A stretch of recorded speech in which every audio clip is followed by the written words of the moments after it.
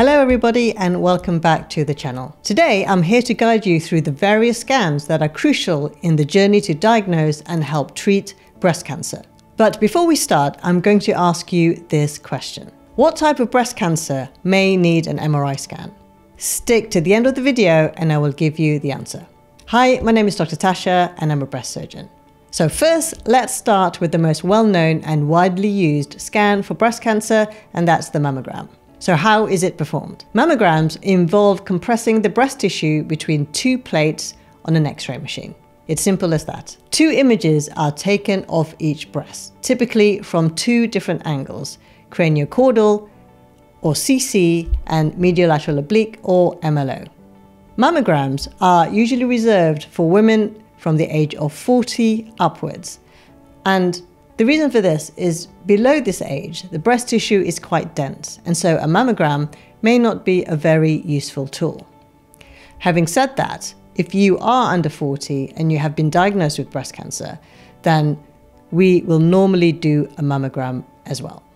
During a mammogram, uh, the patient may feel a little bit of pressure and discomfort as the breast is compressed, but it is actually quite a quick procedure and the time the breast is compressed is only a few minutes. So it's not that bad. Mammograms are primarily used to detect breast cancer and is also used for breast cancer screening. Now, let's talk about ultrasound scans. How is it performed? Well, ultrasound scans use high frequency sound waves to create images of things that we are looking for within the breast. The person performing the scan will apply a little bit of gel to the breast and uses a handheld device called a transducer or the probe to capture the images. The procedure is actually very painless and it does not involve radiation exposure. All you have to do is lie on the couch and then the ultrasound scan is performed. Patients may feel a little bit of pressure from the probe and it takes roughly between 5 to 10 minutes to do. Ultrasound scans are used to further evaluate breast abnormalities, either those identified on a mammogram or if somebody presents with a lump and they are under the age of 40. It is a targeted scan and it is very good at looking at specific areas. And this is very different to a mammogram that takes a picture of the whole of the breast. And that's why we use mammogram for screening purposes, not an ultrasound scan. Moving on to a more advanced imaging technique, and that's the MRI scan. MRI scans of the breast require the patient to lie face down on a table with their breast position in a specific area.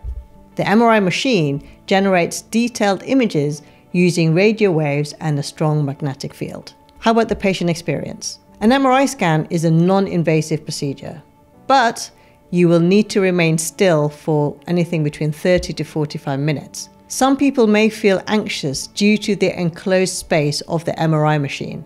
And if you are claustrophobic, having an MRI scan can be quite challenging. MRI scans are used to assess breast cancer extent.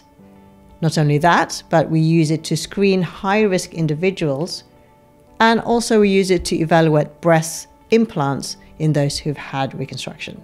If you've been diagnosed with lobular breast cancer, it is likely that you would have been organized to have an MRI scan of the breast.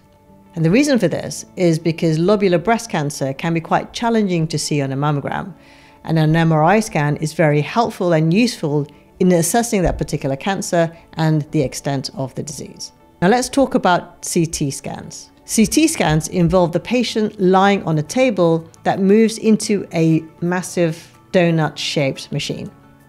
X-ray beams create detailed cross-sectional images, and usually we will include the chest, the abdomen, as well as the pelvis in this scan. What about the patient experience? Well, the procedure is relatively quick, can take anything between 10 to 30 minutes. Patients may need contrast dye injected intravenously to help enhance the image, and this can actually cause a warm sensation as it is injected through. Why do we do CT scans?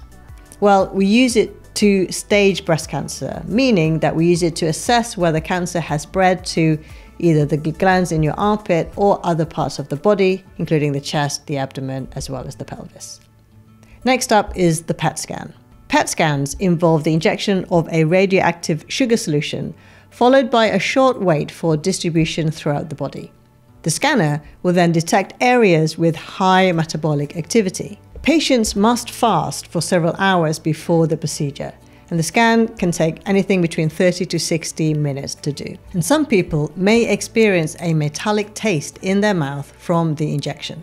So, what is the purpose of a PET scan? Well, PET scans help identify whether cancer has spread to distant organs by measuring the metabolic activity of the cancer. Now, let's not forget about bone scans. So, how is it performed? Well, a bone scan requires the patient to receive radioactive tracer through an IV, so that's through the vein.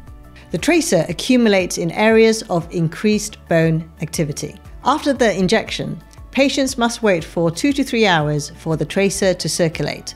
The scan itself lasts about 30 minutes and there's very minimal discomfort. Bone scans are used to detect breast cancer that has metastasized to the bones. And they can be very helpful in early detection of bone metastases, which is, of course, crucial for treatment planning. The use of various scans in breast cancer diagnosis and treatment is a crucial aspect of patient care. Each scan serves a specific purpose, and the choice of scan depends on the patient's individual circumstances as well as cancer. If you found this information helpful, please subscribe to the channel and I'll see you in the next one.